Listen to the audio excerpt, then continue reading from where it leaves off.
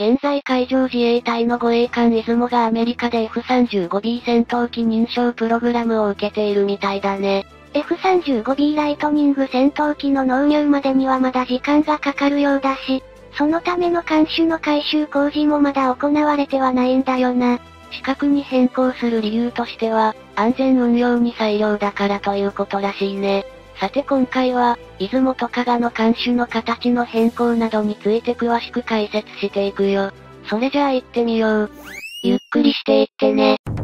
2020年9月末、2022年度の防衛予算の概算要求が発表され、その中に、海事のヘリコプター搭載型護衛艦出雲と加賀を航空母艦に回収するための経費として約230億円が含まれていて、これによって2艦の回収工事がスタートしたよ。この3つの艦を航空母艦にするための内容を予算から見てみると、艦上の全通飛行甲板に F35 ライトニング 2B 型戦闘機を艦載するんだけど、この戦闘機は離発着時に非常に高温の排気熱を出すみたいで、その高温から甲板を守るために甲板に耐熱加工を施す必要があるんだって。それが何より先に必要な工事と言えるんだね。いずもはすでに2020年3月から、ジャパンマリンユナイテッド社横浜工場で飛行甲板の耐熱工事を行っていて、2021年6下旬には一旦母港である横須賀基地へ戻ってきたよ。出雲は外観上の変化はほとんど見られないんだけど、ただし、今までのヘリ運用用の白いライン表示に、F35 ライトニング2用の黄色のラインの表示が追加されていて、アメリカ海軍の強襲揚陸艦によく似ているのがわかるよ。出雲は進行方向向かって右側に環境構造物が設置されていて、今回の黄色のライン表示はそれに干渉しないように、反対の左側端に近い位置に引かれていて戦闘機の滑走距離の確保を図ったように思われるね。戦闘機が艦艇の構造物にぶつかってしまっては実戦も何もないわけで、構造物と戦闘機との距離を十分に確保するためのラインということだな。変化はもう一つ想定されていて、収益後から現在まで出雲の全通飛行甲板の先端部分は台形だったんだけど、今回の F35 ライトニング2用の黄色いライン表示を辿っていくと、艦首部への距離が短くなるから、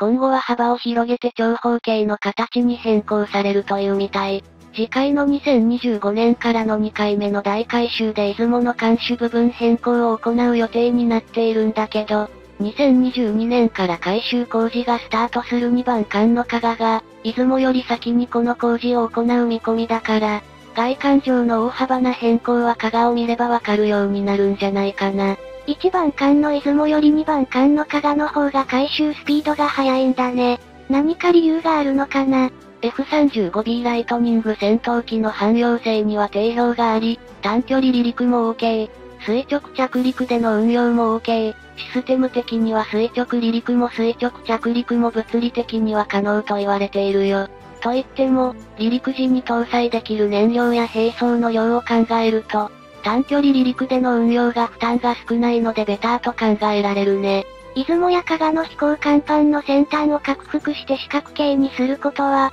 アメリカのワスプ級やアメリア級の強襲揚陸艦と同じような対応だが、今年極東に公開してきたイギリスの航空母艦クイーンエリザベスとは異なっているぜ。クイーンエリザベスのように F35 戦闘機を主力艦載機をとする純然な航空母艦ならば、F35B にとって効率的にもベストなスキージャンプ式の発艦装置を装備することが必須となっているな。しかし出雲や香川、今後も対戦紹介任務を中心とした行動も考えられているから、船体前方下部には対戦戦闘用の大型ソナーを設置していて、ここにスキージャンプ式の発艦装置を設置すれば艦艇のバランスが崩れることが懸念されているってわけ。こうなってしまったら、最悪の場合には艦艇上部の重量配分が重くなってしまうトップヘビー状態に陥ってしまう危険性があり、台風発生時などの好天時は波の影響を受けやすいわけだから、その時にトップヘビー状態では艦艇がひっくり返ってしまうかもしれないという重大な恐れがあるとも言われているみたい。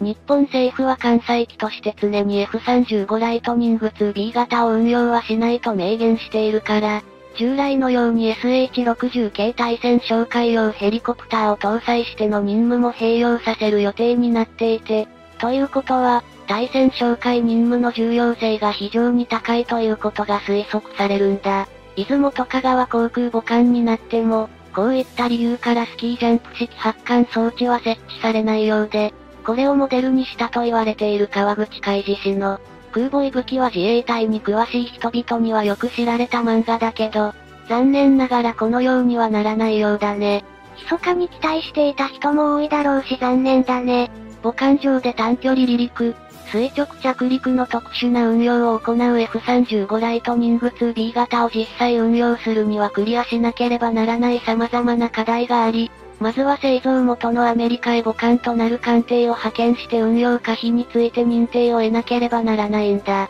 2022年には出雲がこの試験に挑む予定で、手間のかかる戦闘機だなぁと思ってしまうんだけど、その手間と時間をかけてでもぜひとも実用化したいということなんだと思う。出雲の飛行甲板を拡幅して先端を四角形にする工事はまだ終わっていないし、この状態でアメリカから運用認証を得ようとしていることからも推測すると、F35 自体の運用そのものについては問題ない状態なんだろうな。現在の計画では出雲は F35 ライトニング 2B 型を運用する艦艇としての認証を先行取得して、2025年頃から飛行甲板の先端を四角形する工事を含め、残りの大改装を行うのではないかと考えられており、出雲と逆に香川2022年度から飛行甲板の先端を四角形にする工事を含む大改装を行って、2024年前後にアメリカに行って F35 運用認証を得るのだろうと予測されているよ。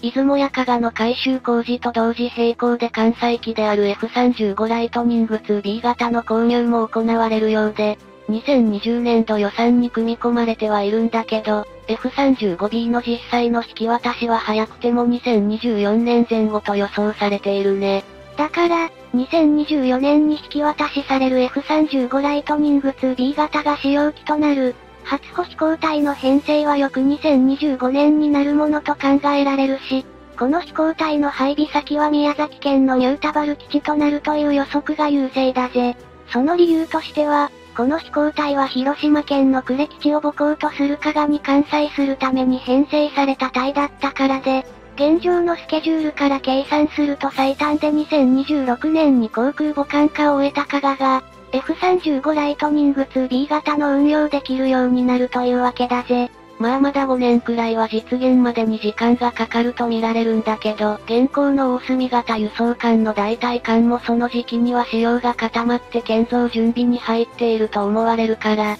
こちらの艦の進捗も注視すべきと感じるよ。ことと次第によっては出雲、加賀においての F35 戦闘機の運用実績も加味した上で、本格的な航空母艦もしくは海事初の強襲揚陸艦にそれらを代替させる可能性があるとも考えられるし、そうなった場合、現在の日本国憲法に定められている攻撃的兵器の保有禁止原則との兼ね合いもあるから、即決とはいかないだろうね。もっとも、そんなに重要なことを簡単に決められても困るし、慎重かつ建設的な議論が展開されることを切に希望するよ。それじゃあ今回はこの辺で、よかったら、チャンネル登録してね。